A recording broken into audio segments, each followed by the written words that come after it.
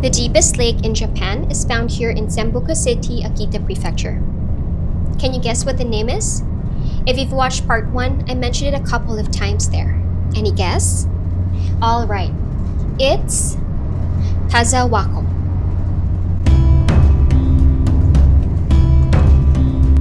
To get around Tazawako by bus, you have to ride the Lake Tazawa Circular Line from Tazawako Station. Tickets are available at the Tourist Information Center and costs 1,290 yen each. The bus stops at the statue of Tatsuko for 20 minutes and the Gozen no Ishi Shrine for 10 minutes before heading back to the station. It runs three times daily at 10:25 a.m. and 1:25 and 3:25 p.m. At 423 meters deep, it's just impossible for this beautiful caldera lake to freeze. Its depth also gives its gorgeous shades of blue. It's surrounded by forests and mountains which are reflected on its waters at daytime. Besides being the deepest lake, Tazawako is known for something else a mysterious story of a dragon that is now protecting the lake. Legend has it that a beautiful lady named Tatsuko was from a little town of Inai in Akita, had once upon a time asked the goddess of mercy and compassion to give her eternal beauty. The goddess told her to drink some water from a sacred spring, which Tatsuko did, and to the point that she drank so much water that the spring went dry. But instead of her wish being granted, Tatsuko turned into a dragon. Realizing this, she threw herself into the lake out of despair. She's now believed to be the dragon guardian of Lake Tazawa. Her statue is 2.3 meters high and it's made from bronze but covered in gold coating to protect it from the highly acidic waters of the lake. Beside it is a modern style shrine. Our next stop is Gozen no Ishi Shrine, built in 1911 and dedicated to the legend of Tatsuko. It stands on a big and flat rock called Gozen no Ishi Rock, which is said to be where the second Lord of Akita rested while admiring the beauty of the lake. The vermilion colored torii gate looks absolutely stunning against the calm indigo waters of Tazawako. Just nearby is another statue of Tatsuko, where half of her body is that of a dragon. By the way, since this is Japan, don't forget to go back to the bus on time as it will leave with or without passengers. Or you can just wait for the next bus if you want to stay longer. So what else can you do around Lake Tazawa? Its 20 kilometer circumference is a popular route for cycling. There's also a bike rental somewhere around here if you just want to do some leisure biking. A popular activity the tourists love to do here is riding the Tazawako Pleasure Ferry Boat, which travels across the lake and slows down at Gozen no Ishi Shrine and Tatsuko statue so passengers can take photos. The entire trip takes 40 minutes and costs 1,200 yen per person.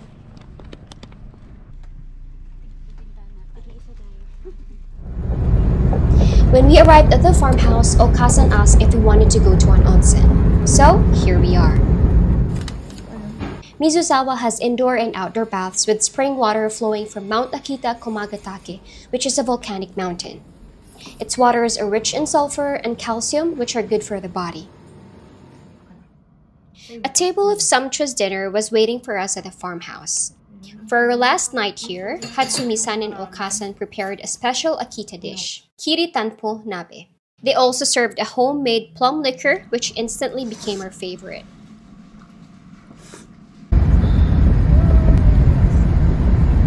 We're heading back to Tokyo later today, but we won't leave Akita without bathing at Tsurunoyu Onsen, the oldest onsen in Nyuto Onsen Village. To get to the onsen village, take the Nyuto bus from Tazawako Station and get off at Alpa Komakusa, another onsen facility located at the hillside of Mount Akita Komagatake. From here, there's a Tsurunoyu shuttle that comes to pick up guests. Google Maps won't show Tsurunoyu shuttle bus as an option and will only tell you to take the bus all the way to Tsurunoyu Onsen Iriguchi Station, and no other transpo option is available from this point. Instead, you will need to walk along the curved and narrow road all the way to the onsen, which takes around 40 minutes. We're going to Tsurunoyu Onsen. Nyuto on Nyuto Onsen. Nyuto Onsen Village or Nyuto Onsenkyo is a secluded hot spring resort in Akita. It sits at the foot of Mount Nyuto, which explains the name. It was discovered more than 300 years ago and consists of eight onsen facilities, offering picturesque views of rural Japanese landscape like no other. There's the oldest and most popular Tsurunoyu Onsen.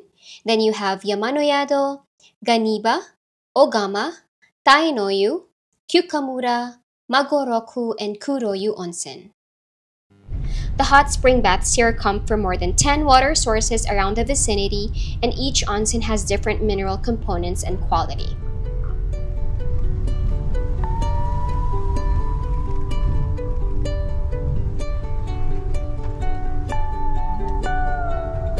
Finally, we're here. No radios, no TVs.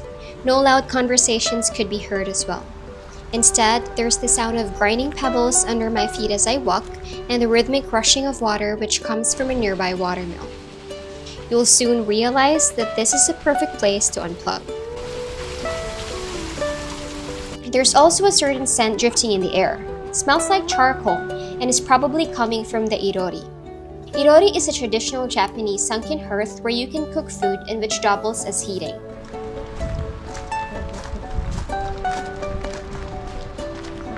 Tsurunoyu's history dates back to mid-1600s when the second lord of Akita, Satake Yoshitaka, and his vassals would frequent the place.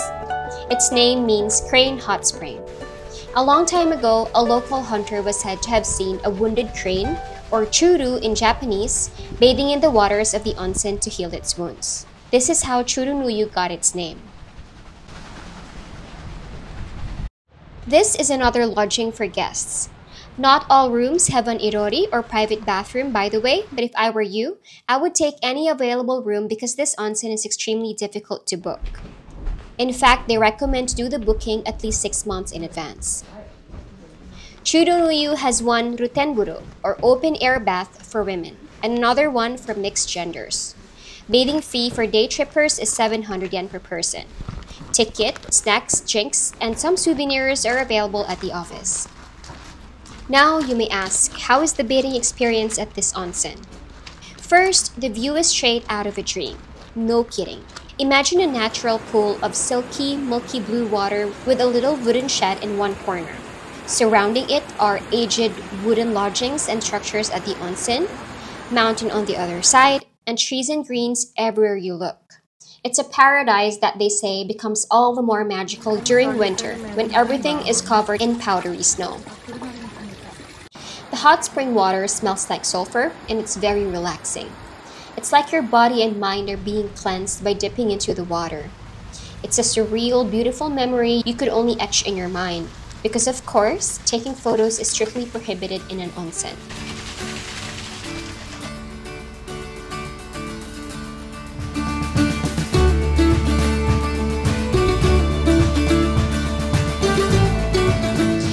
Back to the farmhouse after our amazing onsen experience, and Okasan gave us a ride to Tazawako Station where we need to catch the Shinkansen bound for Tokyo.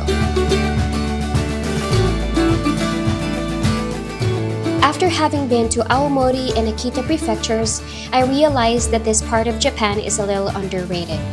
These prefectures are truly beautiful and there's so much to see and do within the region of Tohoku. You're definitely missing a lot if you only keep coming back for the cityscapes and the usual destinations.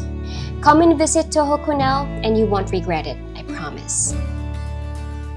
I'll see you in the next video. Bye!